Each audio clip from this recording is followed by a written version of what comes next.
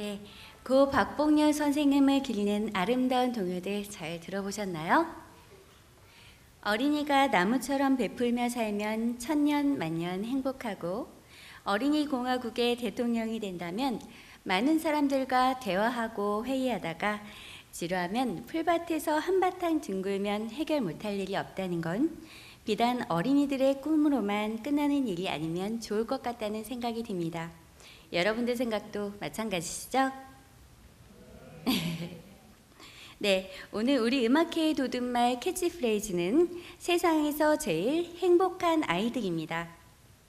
어린이가 노래하면 얼굴이 밝아지고 심성도 고와지고 근심과 걱정이 없고 또 친구들과 사람들과도 잘 지내고 학습 성적도 쑥쑥 올라갑니다. 그것을 과학적으로 밝힌 사람도 있지만 여러분이 직접 조사해 보시고 경험해 보시면 정말이라는 것을 금방 알게 될 겁니다.